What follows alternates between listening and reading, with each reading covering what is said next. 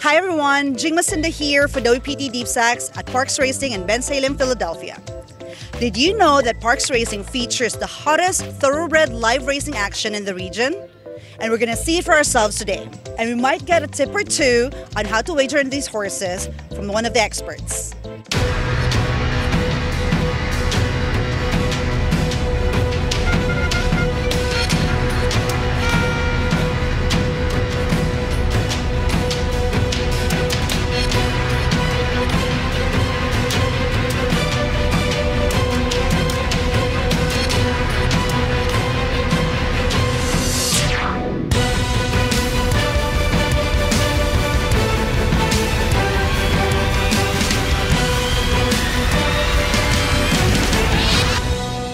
Right, so we have here Mr. Bill Hudgens, Very also good. known as Hudj the Handicapper.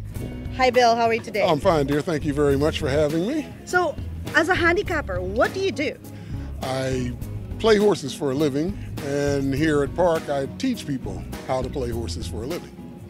Is that hard to do? That is very hard to do. It's a more of a case of experience um, and time playing than anything else. Uh, it's cerebral, so you have to be willing to uh, use your mind and patience. That's another thing you have to be.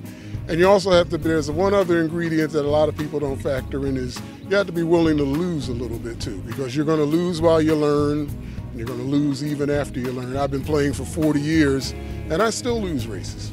Well, I'm so interested. What are you supposed to look into a horse to bet on it? Because sometimes I just like, oh, the name sounds like really cool. I'm, I'll bet on that horse. What should I look for? That's a fascinating question. Um, one of the things I try to teach newcomers is to uh, examine the horse's last two or three races. Don't worry about going too far back into past performances.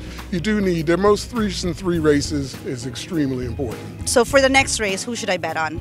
Uh, this next race coming up, I didn't bring my sheet with me, but I, if I'm not mistaken, I just give me a second to peep at the board.